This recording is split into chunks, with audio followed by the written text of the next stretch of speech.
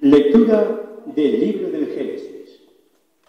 En aquellos días Dios puso a prueba a Abraham llamándole, Abraham. Él respondió, aquí me tienes.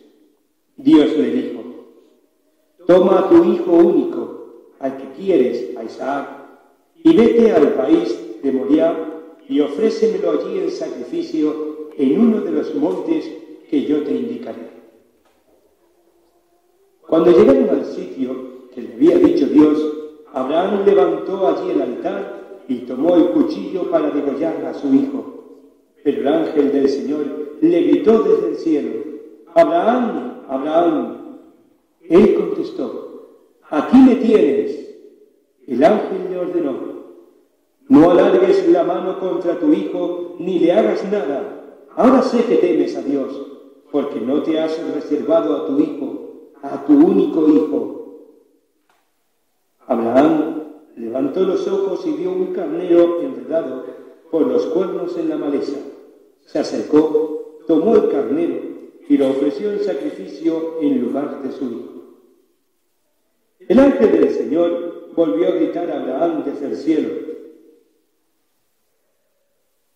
Juro por mí mismo, oráculo del Señor, por haber hecho esto, por no haberte reservado a tu Hijo único, te bendeciré. Multiplicaré a tus descendientes como las estrellas del cielo y como la arena de la playa. Tus descendientes conquistarán las puertas de las ciudades enemigas. Todos los pueblos del mundo se bendecirán con tu descendencia, porque me has obedecido. Palabra de Dios.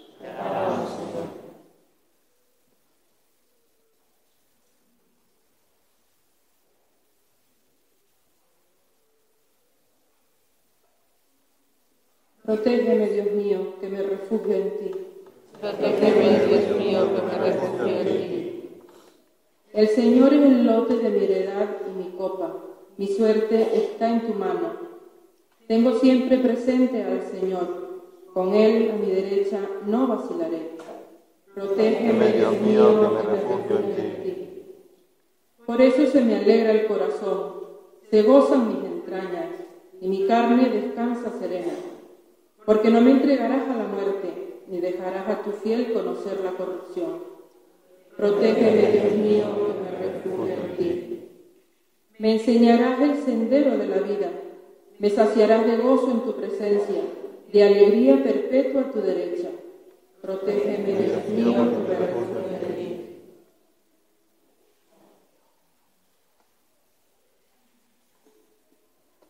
Oremos. Oh Dios, Padre Supremo de los creyentes, que multiplicas sobre la tierra los hijos de tu promesa con la gracia de la adopción y por el misterio pascual, hiciste de tu siervo Abraham el Padre de todas las naciones, como lo habías prometido. Concede a tu pueblo responder dignamente a la gracia de tu llamada, por Jesucristo nuestro Señor. Amén. Sentamos.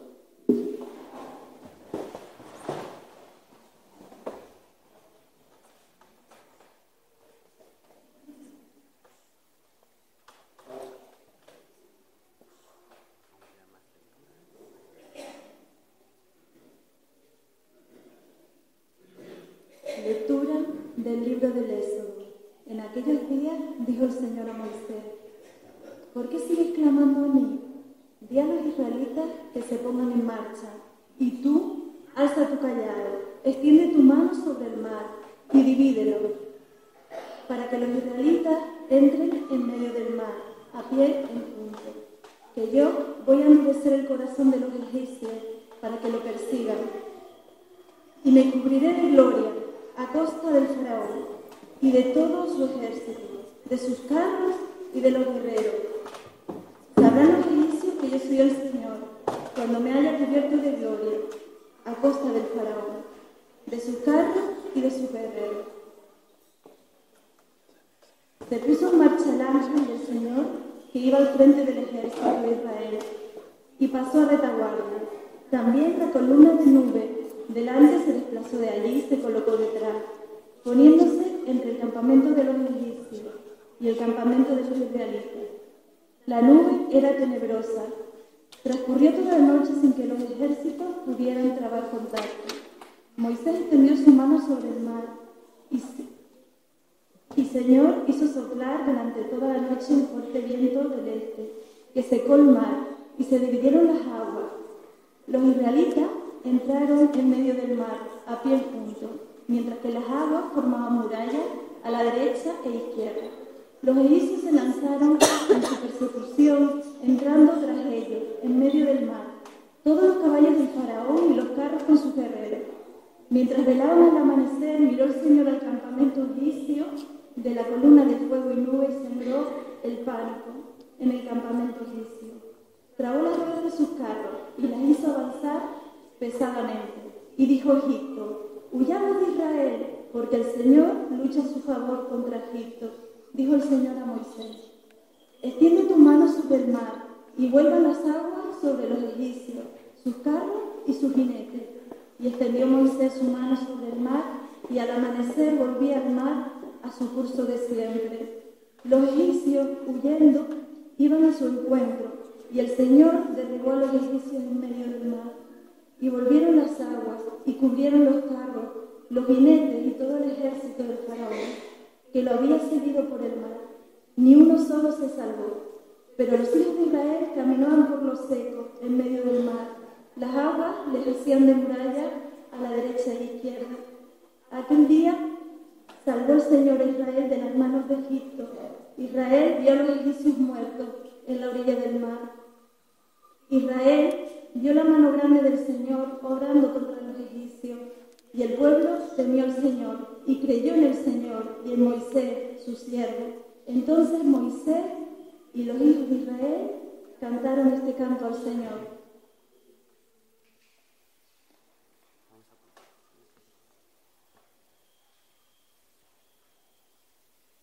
Cantaré al Señor, sublime es su victoria. Cantaré al Señor, sublime es su victoria. Cantaré al Señor, sublime su victoria. Caballos y carros ar- ha arrojado en el mar. Mi fuerza y mi poder es el Señor. Él fue mi salvación. Él es mi Dios. Yo lo alabaré. El Dios de mis padres, yo lo ensalzaré. Cantaré al Señor, sublime su victoria. El Señor es un guerrero. Su nombre es Yahvé. Los carros del faraón los lanzó al mar, ahogó en el mar rojo a sus mejores capitanes. Todo. Cantaré al Señor, sublime es su victoria. Las olas los cubrieron, bajaron hasta el fondo como piedra. Tu diestra, Señor, es fuerte y terrible. Tu diestra, Señor, tritura al enemigo. Todo. Cantaré al Señor, sublime es su victoria. Los introduce y los plantas en el monte de tu heredad, lugar del que hiciste tu trono, Señor, santuario, Señor, que fundaron tus manos. El Señor reina por siempre jamás. Todo. Señor, su victoria.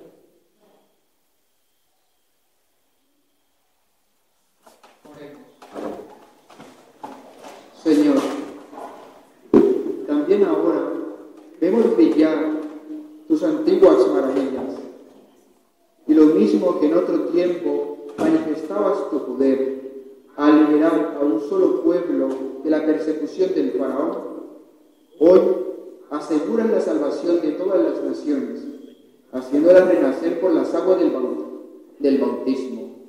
Te pedimos que los hombres del mundo entero lleguen a ser hijos de Abraham y miembros del nuevo Israel, por Jesucristo nuestro Señor. Nos sentamos.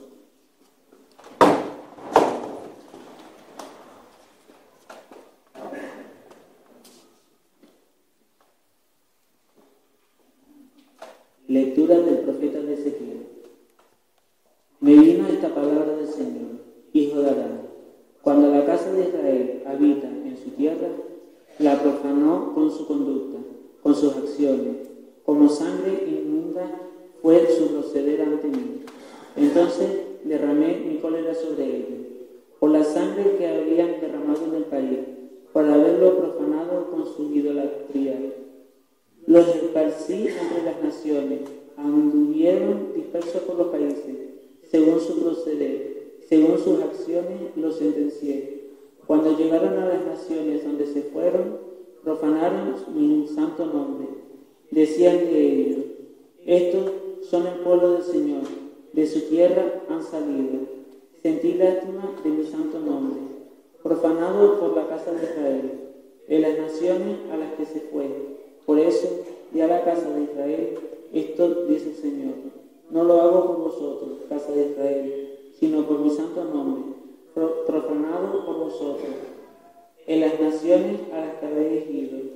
Mostraré la santidad de mi nombre grande, profanado entre los gentiles, que vosotros habéis profanado en medio de ellos, y conocerán los gentiles que yo soy el Señor, oráculo del Señor. Cuando, cuando les haga ver su santidad, al castigaros, os recogeré de entre las naciones, os reuniré de todos los países, y os llevaré a vuestra tierra.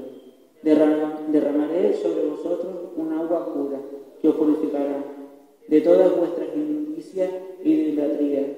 Os he de purificar y os daré un corazón nuevo y os infundaré un espíritu nuevo. Arrancaré de vuestra carne el corazón de piedra y os daré un corazón de carne. Os infundaré mi espíritu y haré que caminéis según mis preceptos y que guardéis y cumpláis mis mandatos y habitaréis en la tierra de, que di a vuestros padres. Vosotros seréis mi pueblo y yo seré vuestro Dios. Palabra de Dios.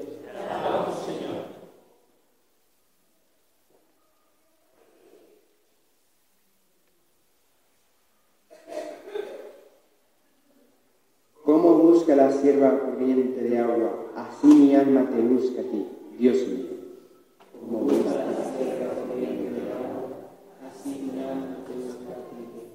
mío. ¿Tienes sed de Dios, del Dios vivo? ¿Cuándo entraré a ver el rostro de Dios?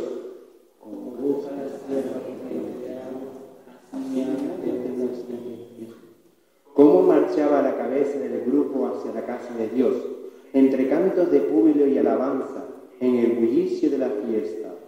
Como busca la sierva corriente de agua, así mi alma. Envía tu luz y tu verdad, que ella me guíe y me conduzcan hasta tu monte santo, hasta tu morada.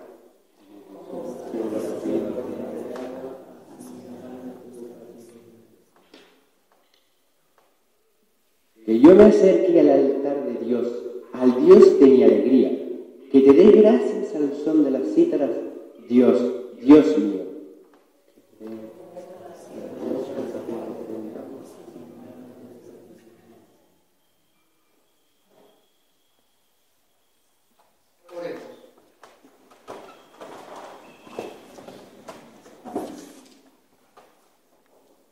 Oh Dios, inmutable y luz sin ocaso, mira con bondad a tu iglesia, sacramento de la nueva alianza, y según tus eternos designios, lleva a término la obra de la salvación humana, que todo el mundo experimente y vea cómo lo abatido se levanta y lo viejo se renueva, y vuelve a su integridad primera, por medio de nuestro Señor Jesucristo de quien todo procede, Él vive y reina por los Y hermanos, alabemos y glorifiquemos a nuestro Dios, que no está vivo, que está vivo y no está muerto.